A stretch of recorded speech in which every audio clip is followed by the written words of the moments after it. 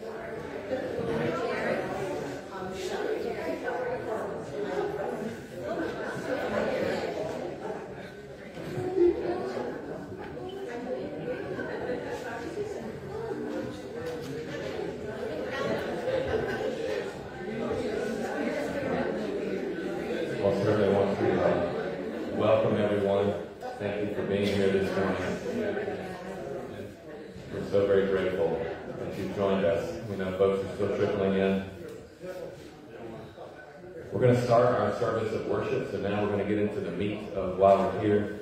And we're going to um, hear uh, the scriptures call us into this moment, into this act of worship. And uh, we're going to hear it this morning through Psalm 95, verses 1 through 4. And I'm going to read this, just me, and then we'll slide into a responsive reading out of Luke chapter 1, a passage that no doubt many of you will be very familiar with. So this is just me here calling us, and the scriptures calling us to worship here. Oh, come, let us sing to the Lord. Let us make a joyful noise to the rock of our salvation. Let us come into his presence with thanksgiving. Let us make a joyful noise to him with songs of praise. For the Lord is a great God and a great King above all gods. In his hand are the depths of the earth. The heights of the mountain mountains are his also. Praise God. Now we'll slide into a responsive scripture reading out of Luke chapter 1. Your parts are going to be in the bold. It'll be up here on the screen. In the sixth month, the angel Gabriel was sent from God to a city of Galilee named Nazareth, to a virgin betrothed to a man whose name was Joseph of the house of David. And the virgin's name was Mary. And he came to her and said, Greetings, O favored one, the Lord is with you. But she was greatly troubled at the saying, and tried to discern what sort of greeting this might be. And the angel said to her, Do not be afraid, Mary, for you have found favor with God. And behold, you will conceive in your womb and bear a son, and you shall call his name Jesus. And he will be great, and will be called the Son of the Most High. And the Lord God will give to him the throne of his father David. He will reign over the house of Jacob forever, and of his kingdom there will be no end. Let's pray to God, to God together as we start our service. Oh Lord, we take joy in this news.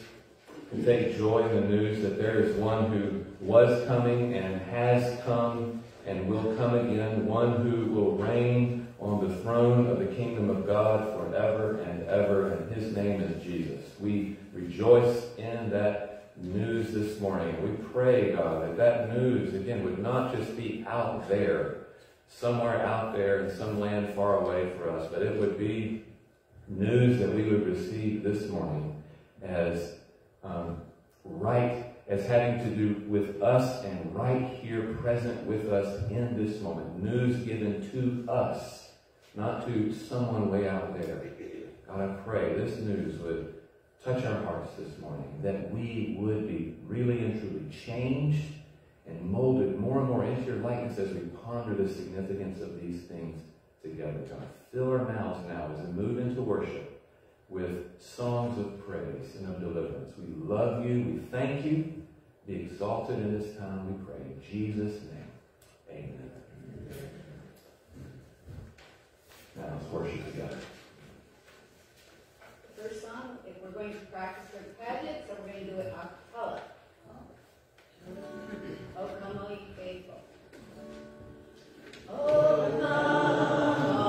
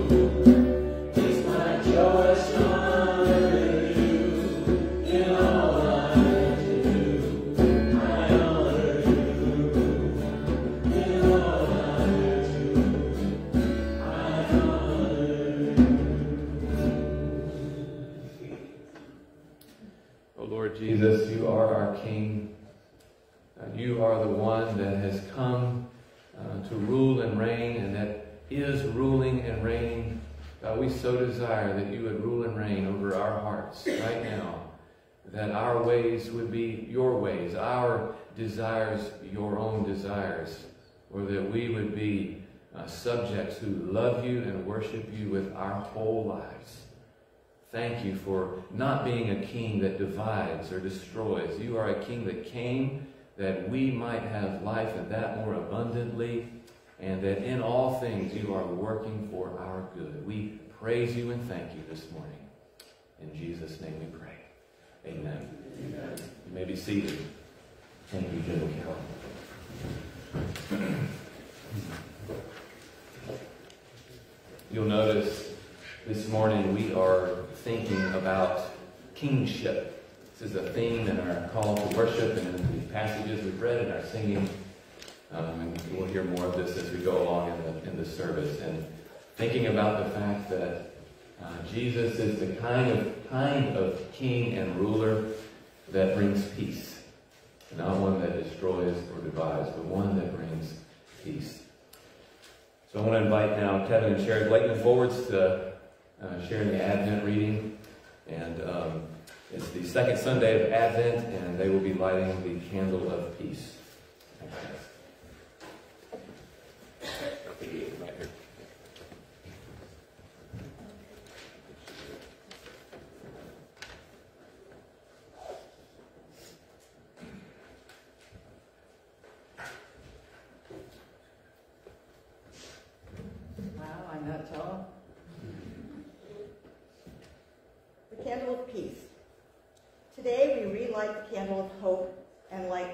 candle of the Advent wreath. This is the candle of peace. With Christians around the world, we light these candles to remind us that Je Jesus brings light into the dark places of the world. During the Advent, we remember the promise of God to send a deliverer to save us from the fear of judgment and death. The prophet Isaiah foretold that one day a virgin would give birth to a child who would be called Wonderful Counselor, Mighty God, Everlasting Father, Prince of Peace. Israel looked forward to the day when this Prince of Peace would come. Today we celebrate the coming of this peace in the person of Jesus. He tells us, Peace I leave with you, my peace I give to you. Not as the world gives do I give to you.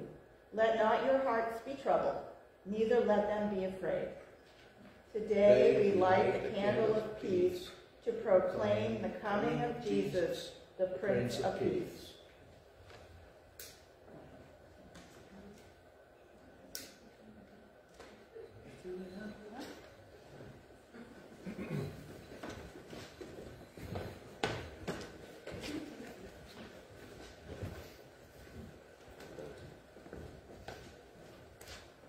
Thanks, guys, for reading and lighting the candles. Go before the Lord now in prayer together, shall we? Lord, as we come to you in prayer now, as we think about peace, Lord, we know it is in prayer partly that we find this peace that you offer and give.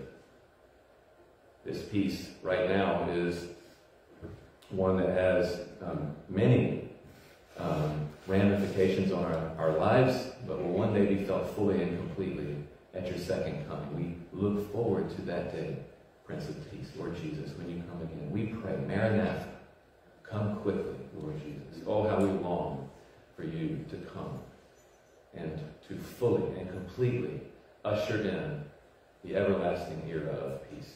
We long for that. But now you offer us this peace in our lives and in our hearts.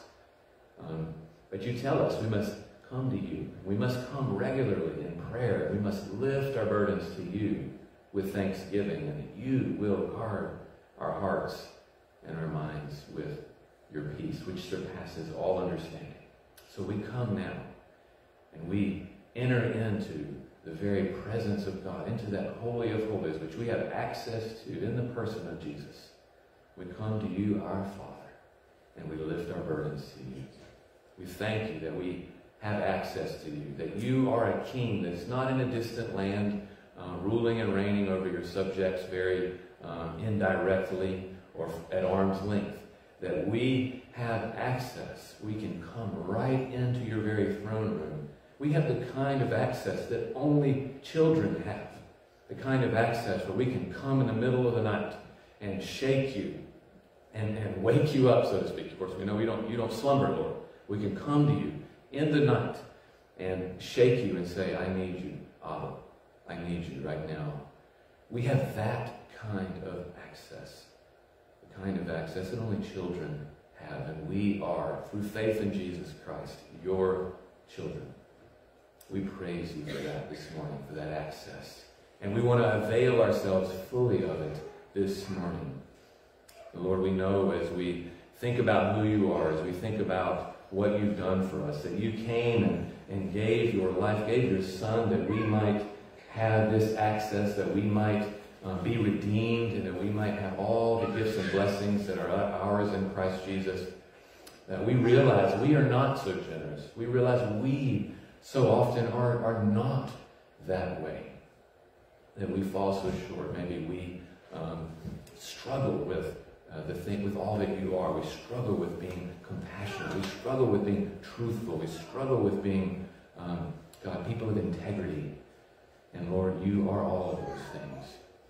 And so, Lord, we want to take a moment as we enter in and as we are confronted once again with who you are, to pause and remember who we are and to confess our sins before you. So, so I invite you this morning in your seats or at home, wherever you are, to silently there take a moment and, and acknowledge who you are and your failures from this past week and shortcomings and sins before the Lord.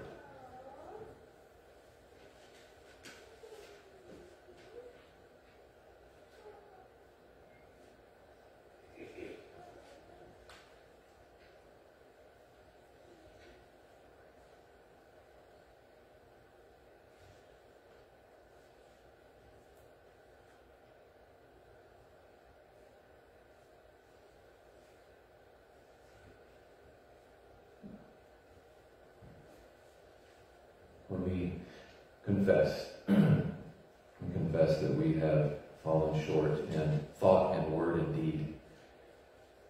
Lord, we've left undone things that we should have done. And some of things we've done were things that we should not have done. We recognize that. And we plead your mercy. We plead, be merciful, be kind to us, as you've promised. Not because of who we are or anything we've done. We're not lifting up our goodness and saying, because we are so good, or we did that thing last week, God have mercy. No. We are saying, have mercy because of what Jesus did. Because of Him. Because of His love, His sacrifice, His gift to us in coming and dying. Have mercy. And because of who he is right now, that that sacrifice is not something that just happened 2,000 years ago and no bearing on today. It pleads for us. His blood, his sacrifice right now pleads for us. And he does before the very throne of grace, right now interceding for us. So we say, because of him, have mercy on us. Thank you that you do promise that if we come and confess our sins, you will be faithful and just to forgive us our sins and cleanse us. What a promise, no matter what we've done this week. There's no asterisk or footnote on that promise. Only certain sins qualify, does not apply to this, does not apply to that, all that fine print that you see on a coupon. We bring the complete 100% payment complete in full coupon with no asterisk or footnote. And his name is Jesus. We thank you for him. We praise you. So many things to be thankful for in addition to the Lord Jesus. The fact that we have this place together. The fact that we can still in freedom proclaim this news the fact that your love has been shed abroad in our hearts, and we really love people, and we are loved by others in this faith community. We thank you for those things. Thank you for the joy and fellowship we'll share following the service, Lord willing, at our potluck. Thank you for the food shelf and all its ministries. Thank you for so many people here that serve and give, that put together the communion table, people that come in and fold bulletins, people that open the doors and set up flags and sweep floors and put out tablecloths, that wash dishes and paint kitchen cabinets. So many things, Lord, to be thankful for, the strength to do all of those. We bless you. Lord, we thank you this morning for the life of Donna Howe. We miss her, God. We know her precious husband Ernie does too, and all her family. We want to lift them to you now and pray, God, that you would be close to them in this hour. Comfort them and strengthen them. Lord, we love them. Bless that family. Walk with them in this hour of loss and grief. But we rejoice, Lord, and take hope knowing that Donna was a woman with a deep faith, a woman who trusted you. And we know, God, she is at peace right now with you. Glory to God. Hallelujah. God, we pray um, as we think about those things that we're all walking through, so many of us facing diagnoses or, or perhaps loss um, or some financial hardship. So many things we are facing right now in our lives. Broken relationships. Uh, God, uncertainty about our future, whatever it might be. We want to take a moment and lift those burdens to you because you tell us to, not because we just had no one else to go to. Where we know that ultimately you are our friend and you ask us and invite us into, um, or you you say that you want us to invite you into these struggles. So we do that now, oh Lord. We want to take a moment, wherever you are, at home, in your seat, pause, lift your burdens to God silently there in your seat.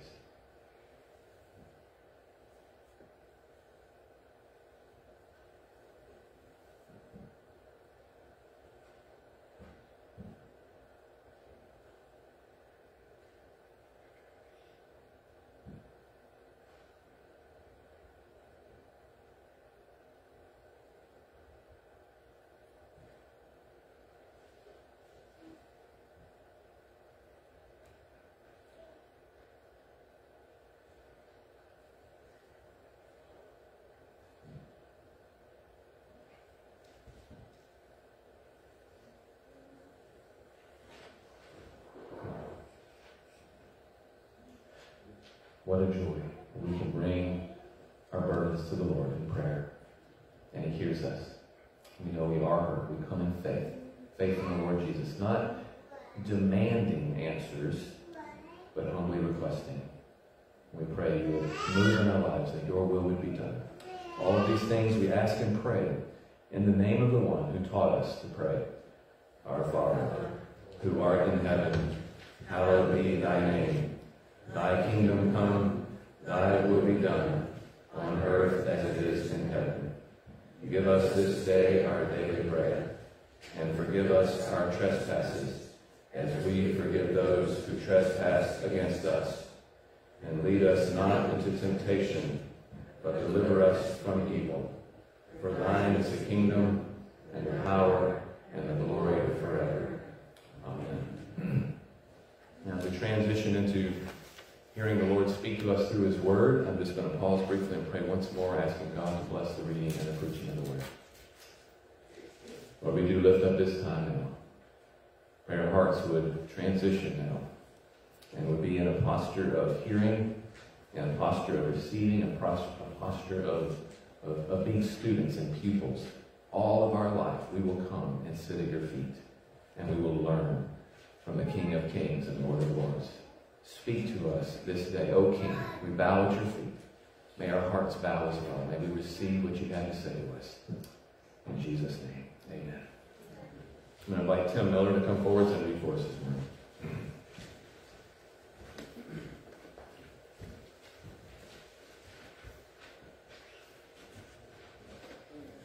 Scripture today is from Matthew beginning in chapter 22, 41 through 46.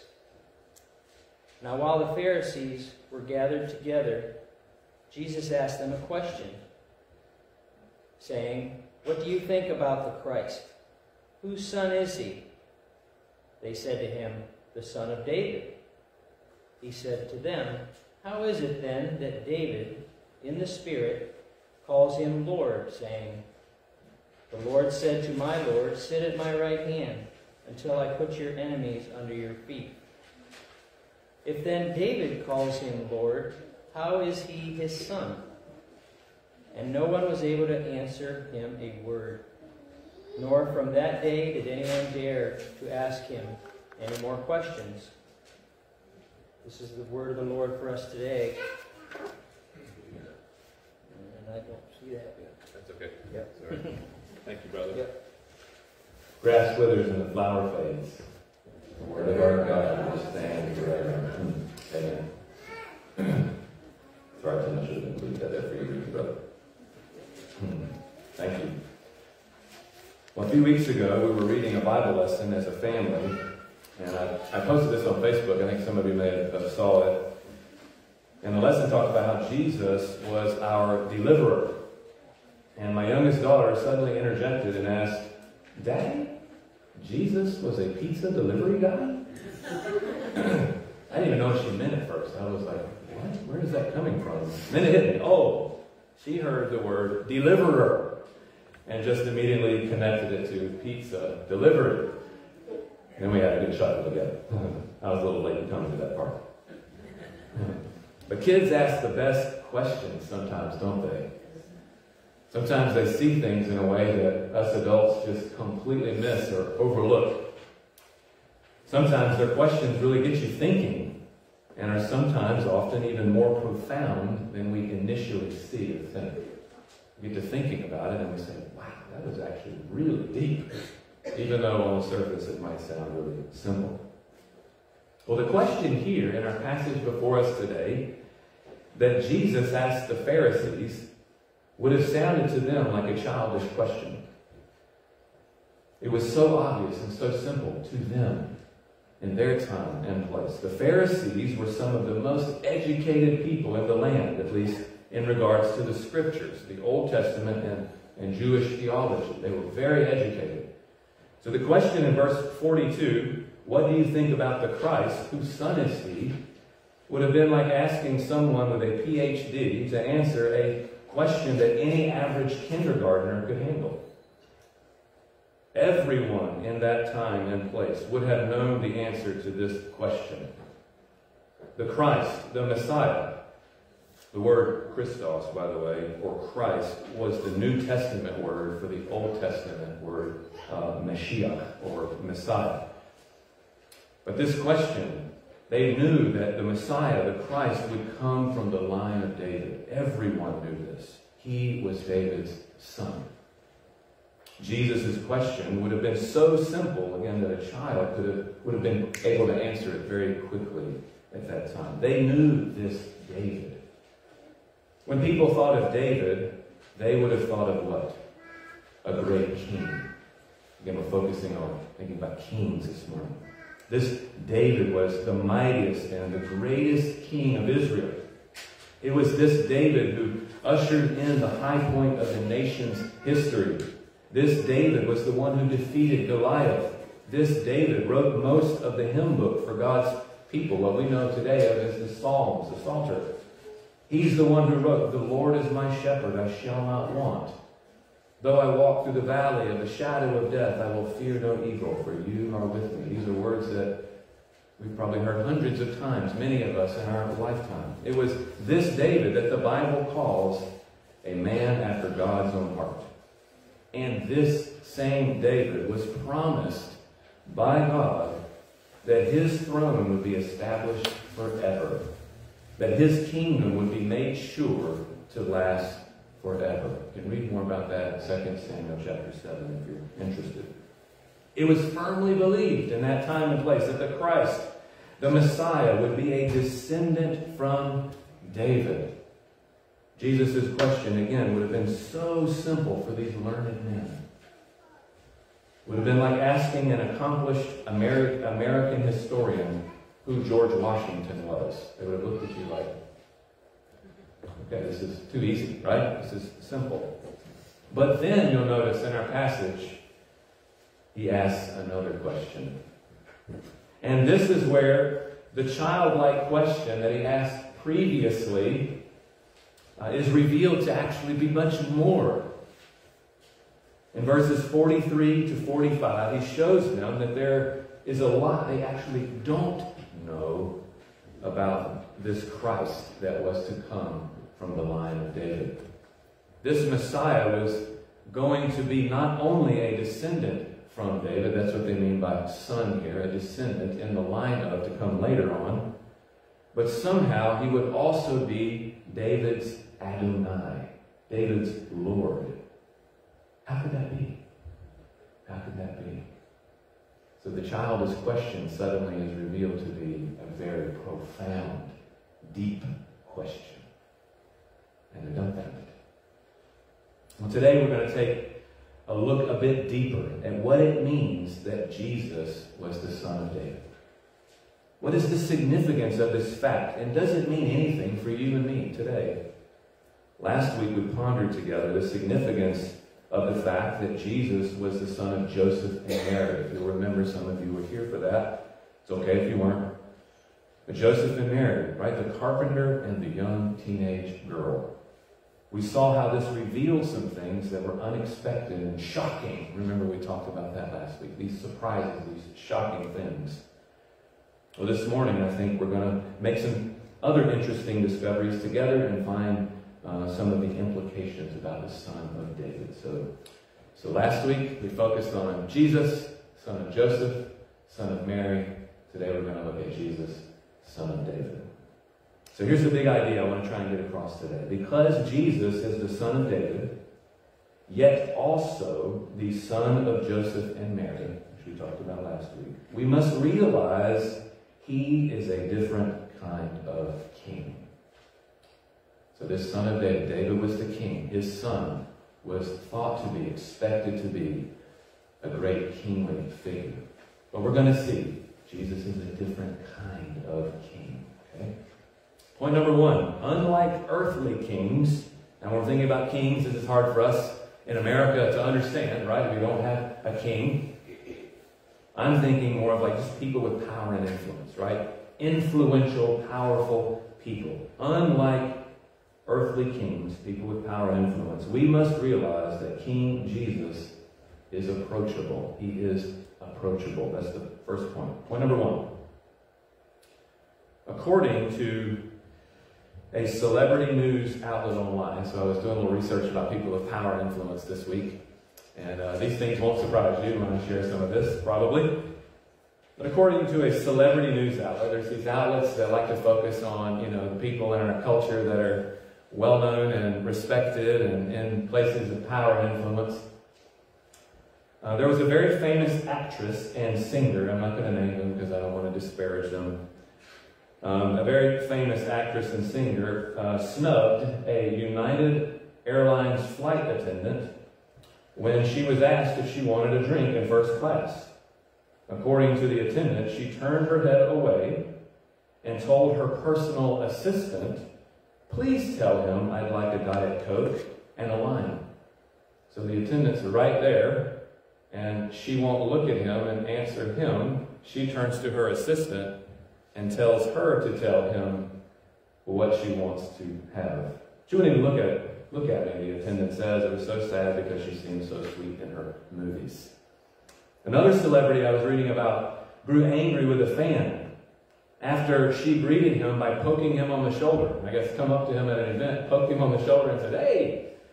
The actor was visibly irritated and put his finger in her face, turned around and pointed at her in her face and said, Don't you ever touch me, understand? Now, again, we don't know what these people were going through, right? A rough day, whatever. But there are all kinds of examples like this of our earthly leaders, right? People of power and influence doing things like this. Yet with Jesus, these are relatively small things, right? I could mention much bigger things, but I'm trying to convey a point here about approachability. Yet Jesus with him we find something so very different, do we not? We find he is approachable, touchable, and caring. Even though people knew he was the much awaited son of David, they felt as though they could come right up to him, touch him, say hey to him, talk to him. For example, in Matthew 9, 27 to 31, I'm going to give you a few examples of these. Feel free to flip there if you want. Matthew 9, 27 to 31. Uh, I'm going to read it here. As Jesus passed on from there, two blind men followed him, crying aloud, Have mercy on us, son of David. When he entered the house, the blind men came to him, and Jesus said to them, Do you believe that I am able to do this, to heal them? They said to him, Yes, Lord. And then he touched their eyes, saying, According to your faith be it done to you. And their eyes were opened. And Jesus sternly warned them, See that no one knows about it. But they went away and spread his fame through all that district. But there's that title following Son of David, have mercy. They call him the Son of David. He gets no rebuke for it, implying, Yes, that's right. I am this figure that is coming. And then he goes and heals them and asks for no honor in return. Is that not amazing? No honor. I am that son of David. Yet don't spread a word about me. Jesus was approachable and generous and humble. He did not use the title Son of Man or Son of David to draw fame or seek honor. It was not a way to get more likes or views on his page, right? It wasn't making a plug for his page. Check me out on YouTube, man. Know? Isn't it amazing to think that Jesus never claimed to be the Son of David? He never claimed that for himself, actually. The scriptures over and over again tell us that he is that long awaited one, that descendant of David, that kingly figure that was coming, but he never claimed it for himself. The passage we read at the start of the service uh, out of Luke chapter 1 tells us he was a descendant in the line of David, as many other places do tell us. Another example, take Matthew 12, 22 and 23. Feel free to flip there if you want. Matthew 12, 22 and 23. Then a demon oppressed man who was blind and mute was brought to him, and he healed him, so that the man spoke and saw. And all of the people were amazed and said, Can this be the son of David? There it is again. People are, light bulbs are going off. People are connecting dots. Again, he does not correct them for using the title. And once again, Jesus is readily approached and helps someone in need. Doesn't turn around and say, Don't you ever ask me to heal you. Right? Or to touch. Don't touch me. He happily helps, does he not? One more example of this. Matthew 20. Matthew is really focuses on this. Actually, the phrase son of David is found more in Matthew than any other place in the New Testament. Matthew 20, verses 29 to 32.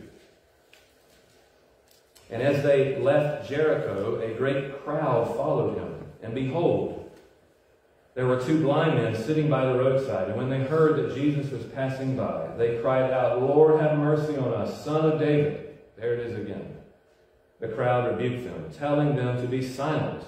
But they cried out all the more, Lord, have mercy on us, son of David. And stopping, Jesus called them and said, Listen to the contrast here to those other examples. What do you want me to do for you? Is that not amazing that he would stop?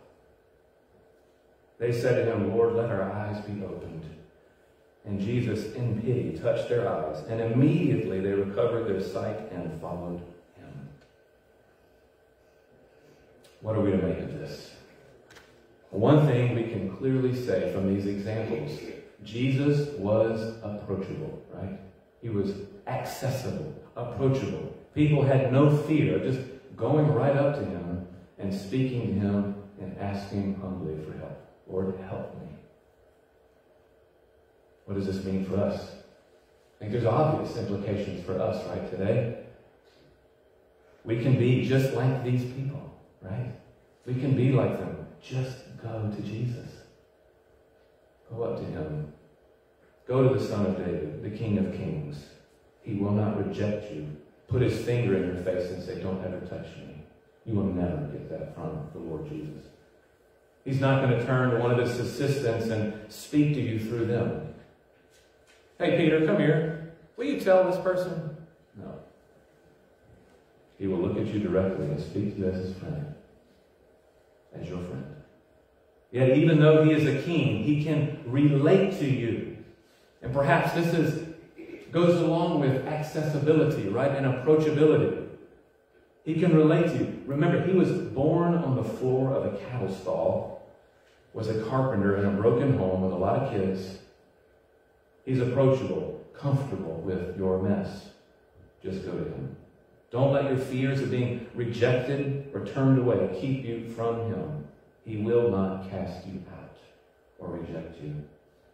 Go, just like these men and women, the stories we've read, and just cry out, Have mercy on me, son of David.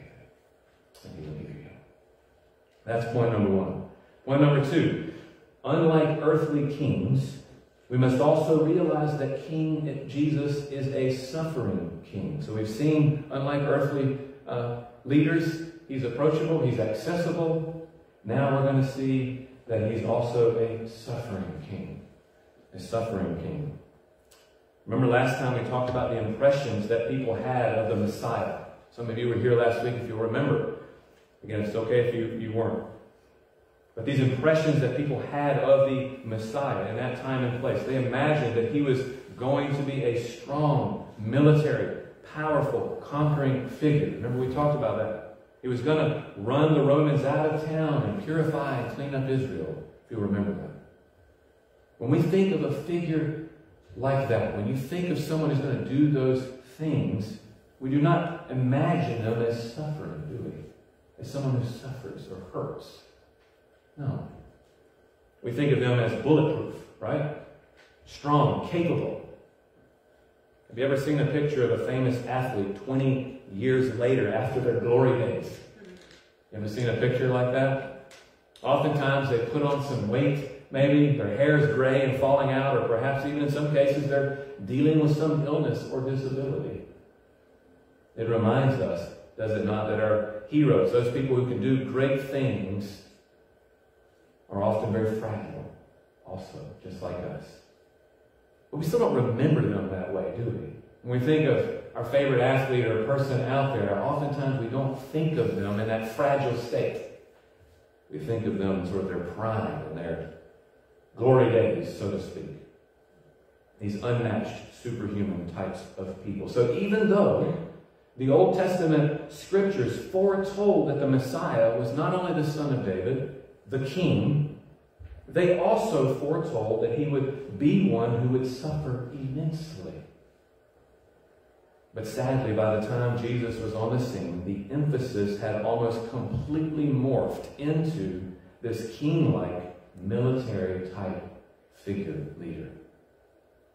They'd almost totally forgotten that the scriptures say the Messiah, the son of David, would suffer. They'd forgotten these parts. And the emphasis was all on the king, the mighty, strong one who's going to come and deliver us. Isaiah 53 is one such passage that over the years was passed over and neglected. And this is what it says of the Messiah, the coming Son of David. I'm just going to read a few verses out of Isaiah 53. I'm going to start at verse 4 and go down just a few. Surely he, again speaking of this coming figure, has borne our griefs and carried our sorrows. We have esteemed him stricken, smitten by God, and afflicted. He was pierced for our transgressions, crushed for our iniquities. Upon him was the chastisement that brought us peace. There's that word, peace again. And with his wounds we are healed. All we like sheep have gone astray. We have turned every one to his own way. And the Lord has laid on him the iniquity of us all. He was oppressed and he was afflicted, and yet opened not his mouth, like a lamb that is led to the slaughter, and like a sheep that before its shearers is silent, so he opened not his mouth. by oppression and judgment, he was taken away. And as for his generation who considered that he was cut off out of the land of the living, stricken for the transgression of my people, they made his grave with the wicked and with the rich man in his death, although he had done no violence and there was no deceit in his mouth. It goes on. It goes on to describe this coming figure. No violence, man of peace, yet suffered immensely. That doesn't sound like a king, does it? When we think about it. I don't think so. We must realize that Jesus, the son of David, if he is this figure, this coming one, this king, this son of David, that he certainly was a different kind of king, right, than maybe what we expected.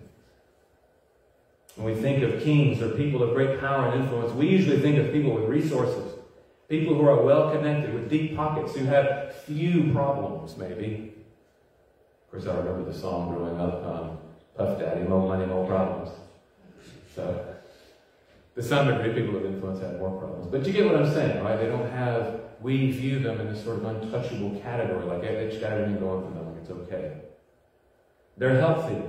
They've got personal trainers and chefs and big houses and nice cars and travel the world doing whatever they want. This is the image we have of leaders, kings. But that is not the king we are given in the scriptures. This son of David understands suffering and pain. He understands the plight of the lowly, the poor, the outcasts, the ones on the fringes. And he doesn't just understand intellectually, he understands existentially. He himself has suffered. He has been poor. The scriptures say of Jesus, though he was rich, yet for your sakes he became poor, so that by his poverty he could make you rich. I love that passage. 2 Corinthians 8 9. This is indeed a different kind of king. This king did not stay in the palace, but came out into the streets where you and I live, and there he suffered with us and for us. And he didn't do that so that you could just bottle up all of your pain inside of yourself. He did that so that you could unload it on him. Unload it. This king is not going to give you a burden and increase your labors in building his palaces and planting his vineyards. This king serves you and suffers for you. He gives of himself to relieve your burdens. So not only is he approachable, but he is available and willing to have you cast your cares upon him. This is a suffering king. And that's point number two. Point number three I'd like to make this morning is that unlike earthly kings, we must realize that King Jesus is a king who comes in peace.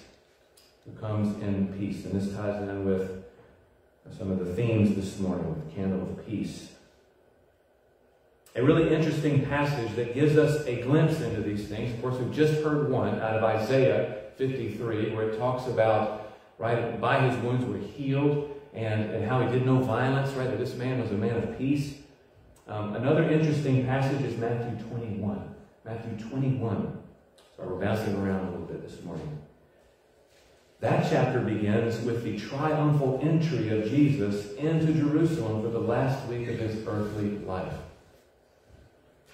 He comes into the city, into Jerusalem, and there are these great crowds, and they are shouting as he comes in. Verses 8 and 9 tell us um, some information about what was happening. Most of the crowd spread their cloaks on the road, and others cut branches from the trees and spread them on the road, treating him like a king, right? This is a kingly figure. We are honoring him as he comes into the city. And the crowds that went before him and that followed him were shouting, Hosanna to the Son of David. There it is again. Son of David. Hosanna. Hosanna means save us. Save us. Blessed is he who comes in the name of the Lord. Hosanna in the highest. Hosanna in the highest. Here they are once again, attributing to Jesus this messianic title, this title that was given only to this coming Messiah, Son of David. and they are shouting it out. And yet, what is he riding on? This is one of the characters in this story that are often forgotten. It's often forgotten, right? Is he on a white horse of battle? Is he coming on a great chariot? No. He's riding on a young, never before ridden, probably being weaned, donkey. A donkey was a beast of burden, a working animal, an animal of service, of suffering. As such, many scholars say that donkeys were a symbol of peace, symbol of peace. Once again, we are reminded that this King Jesus is different. This Son of David is perhaps not what we expected. He comes in peace. He comes as the Son of David, not the military warrior, but as one bringing peace. Unlike so many of our leaders today who are only concerned with money and power and reputation, this king comes in peace. In fact, so committed is this king to peace that he will give himself up to accomplish it. We didn't have to negotiate or manipulate or persuade or bargain to get this king to act on our behalf. There was no bartering or trade agreement in the deal where we give something and he gives something in order to make peace. No treaty was signed. No swords clashed or wars were waged. Jesus the King, the Son of David, the promised Messiah and deliverer, offered up himself of his own accord to make peace. To have peace with God, all you must do is receive it. Receive it. Receive God's peace by merely accepting this precious gift. When you accept that God has loved you in this way by sending Christ to die, it will change you. Not only will you have peace with God, but you have inward peace as well. And that's point number three. This king brings peace. He brings peace, comes in peace and brings it. Point number four. Unlike earthly kings, we must realize that King Jesus is worthy of worship. Worthy of worship. That's our last point. When you realize all these things, that the Son of David is approachable, that the Son of David suffers with you and for you, that he came in peace to make peace between you and God, offering up his own life, it will move you to worship him. You will worship. And your worship will be accepted because he is worthy of it worthy of this worship. No earthly leader or king can say that, can they? No. Only Jesus is worthy of our worship. Going back to where we started at the beginning of the sermon, Jesus asks the religious scholars a simple question that any child in that day could have easily answered. But then he turns and reveals again that the question is actually much deeper. I want to walk you through this very quickly. Let's go again to that passage. What do you think about the Christ? Whose son is he? Jesus asked. Right? Very simple question. And they said to him, Son of David. Probably with an eye roll, right? Son of David, man. What do you think? He said to them, How is it then that David in the Spirit calls him Lord, saying, The Lord said to my Lord, Sit at my right hand until I put your enemies under your feet. If then David calls him Lord, how is he his son? And no one was able to answer him a word. Nor from that day did anyone dare to ask him any more questions. The quote in verse 44 comes out of Psalm 110. And every Orthodox, that means uh, sort of right believing um, Jewish scholar at the time, those that held to the traditional Jewish views and scriptures, they would have interpreted this passage to refer to the Messiah, to that coming person. They saw the phrase, sit at my right hand, as a reference to a position of honor. And that position could only be held, in their view, by the Messiah himself. So this Lord that would have somehow come from David in his line, a descendant later on, was also David's Lord, despite being his son. The only possible way that these both could be true is that this one, the Messiah, would actually be God himself in the flesh. This son of David, this king, the approachable one, the suffering one, the one who comes in peace, is also God. And all of these things culminate in what? In worship. Worship. We could worship if we couldn't worship, sorry, if we could not approach God. Right? We couldn't worship if we could not have peace with God, if we did not have peace. And we would not have peace if God had not suffered with us and for us. See how all these things we've talked about go together approachability, accessibility, peace, suffering. All lead to what? Worship. Worship. All of these things that the Son of David is for us make worship possible. There is no greater way to appreciate all that Jesus is for us than to fall at his feet and worship him. We're going to do that now by turning to the communion table and then closing with a song. So let's transition to the table of the Lord now as we think about all that this Son of David was and is and will be for us.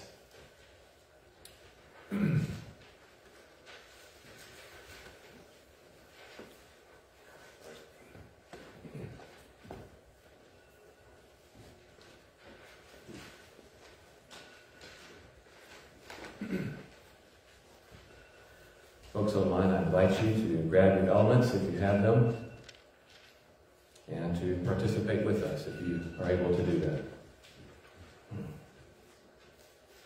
So, isn't it amazing? As we come to this table, one of the things we are remembering, again, is that this king is unlike other kings. Right? That this son of David, this coming one, this deliverer, this Messiah, is different. What king would invite commoners, peasants, poor people, regular people like us to his table? We come to the table of the king. A meal prepared by himself, not by a servant, by him, prepared by him for us. And that meal, interestingly enough, is of himself. He gives of himself in this table. We partake of his very body and of his flesh. There's a mystery there, certainly. But as we partake, we are expressing our faith in him, our love for him, our worship for him. And so I invite you to come as we think about these things together. Let's pray before we before we partake here in just a moment. Oh Lord, we thank you for these wonderful truths that you are a king and all that comes with that. You are powerful. You are sovereign. You do reign. You are King of kings, Lord of lords. You are over all. You have absolute authority. Yet you use that authority and that power not to lord it over us, not to um, control the minutiae of our life, not to dictate everything about us or to get something out of us, but to serve us, to love us, to sacrifice for us, that we might have more of you. And we do have more of you. We have all of you in what you've done for us. So as we come to these to this table, would these things be fresh in our minds and in our hearts? I pray, O oh Lord God, that you would bless this time, that these elements would be to us the body and the blood of the Lord Jesus, that we would be strengthened and nourished in our faith, and find fresh power and fresh fire in our lives to go and serve you out there, not just in these four walls, but to be your people wherever we are. Bless these elements. Bless each as they come and partake in just a moment. In Jesus' name, amen.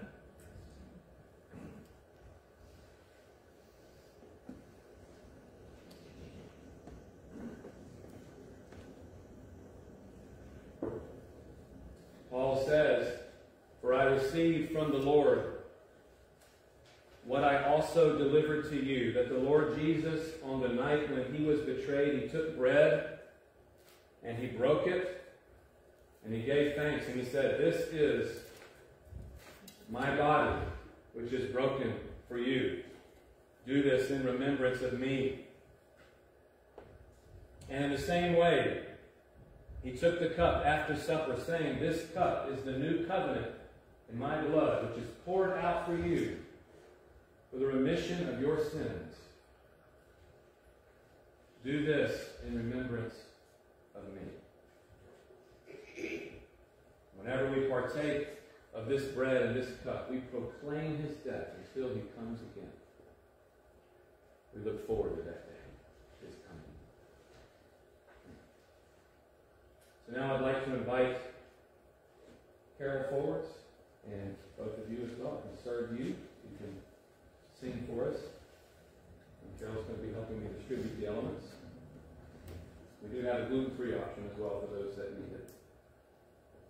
Prefer it.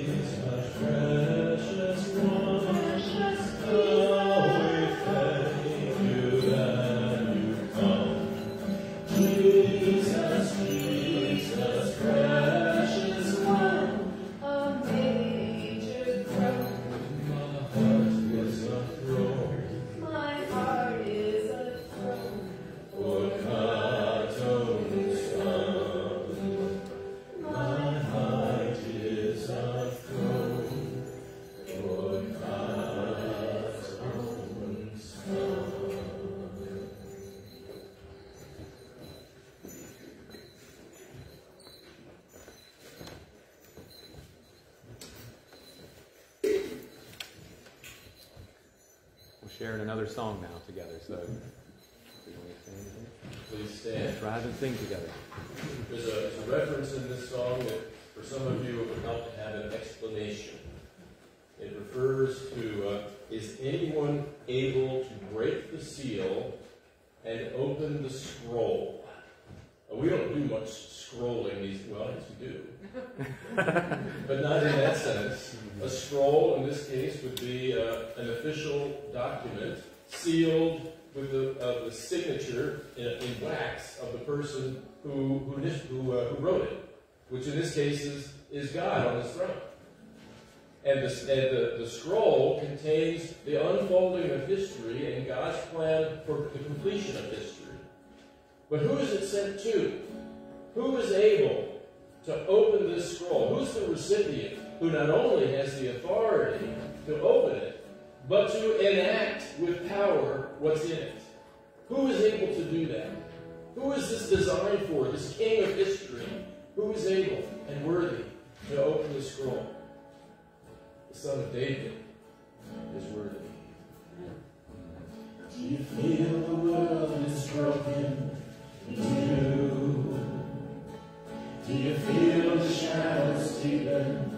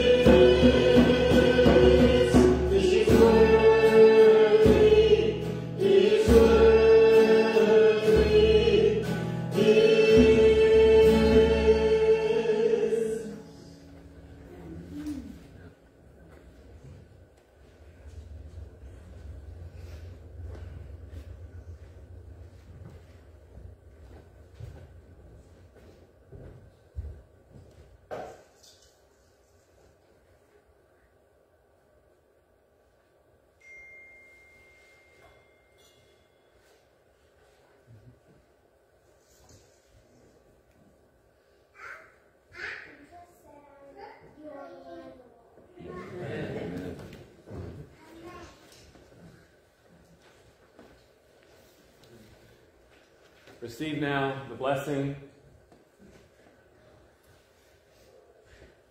He who is blessed and the only sovereign, the King of kings and Lord of lords, who alone has immortality and who dwells in unapproachable light.